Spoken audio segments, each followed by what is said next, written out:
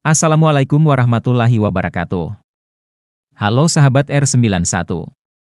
Pada kesempatan ini admin bakal membahas dinamika Pilkada Gubernur dan Wakil Gubernur Papua Selatan tahun 2024. Menjelang tahapan pendaftaran pasangan calon gubernur dan wakil gubernur pada 27 Agustus 2024. Sejumlah figur semakin intens melakukan komunikasi politik agar mendapat dukungan minimal tujuh kursi dari partai politik atau gabungan partai politik DPRD Provinsi Papua Selatan. Di DPRD Provinsi Papua Selatan, terdapat 35 kursi partai politik.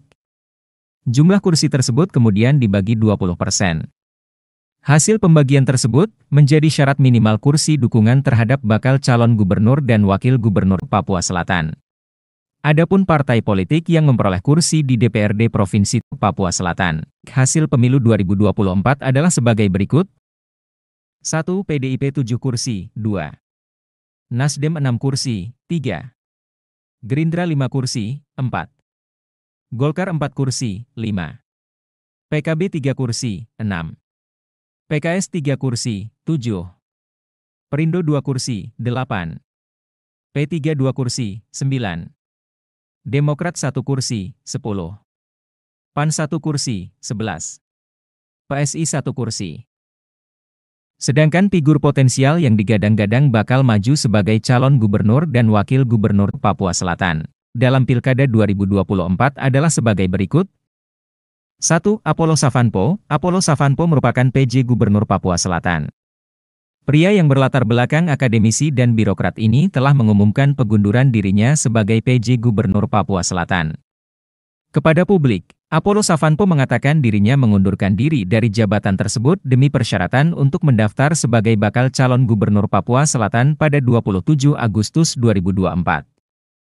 Berdasarkan peraturan dalam Surat Menteri Dalam Negeri, pejabat kepala daerah yang akan mencalonkan kepala daerah harus mengundurkan diri 40 hari sebelum pendaftaran pasangan calon kepala daerah. 2. Romanus Baraka Romanus Baraka merupakan Bupati Merauke periode 2011, 2016 dan periode 2021 hingga 2026. Orang nomor satu di Kabupaten Merauke ini dikabarkan bakal maju sebagai calon gubernur Papua Selatan pada perhelatan Pilkada 2024.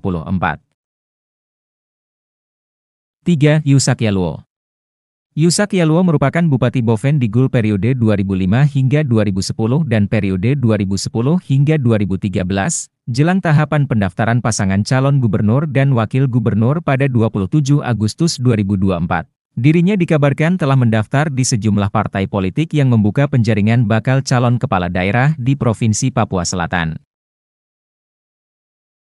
4. Nicolaus Kondomo Nicolaus Kondomo merupakan mantan pejabat Gubernur Papua Pegunungan periode 2022 hingga 2023. Dalam tahapan Pilkada 2024, beliau dikabarkan bakal maju sebagai calon Gubernur Papua Selatan.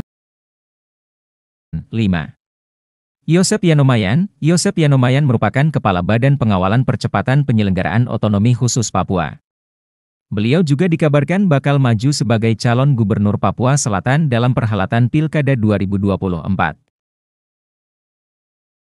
6. Johannes Glubagebese Johannes Glubagebese merupakan Bupati Merauke periode 2000 hingga 2005 dan periode 2005 hingga 2010. Jelang tahapan pendaftaran pasangan calon gubernur dan wakil gubernur pada 27 Agustus 2024, beliau dikabarkan telah melakukan komunikasi politik untuk maju sebagai calon gubernur Papua Selatan periode 2024 hingga 2029. Nah, itulah pembahasan mengenai dinamika Pilkada Gubernur dan Wakil Gubernur Papua Selatan tahun 2024. Semoga pembahasan ini dapat bermanfaat untuk kita semua. Jangan lupa dukung channel ini dengan cara like, subscribe dan tekan tombol loncengnya. Assalamualaikum warahmatullahi wabarakatuh.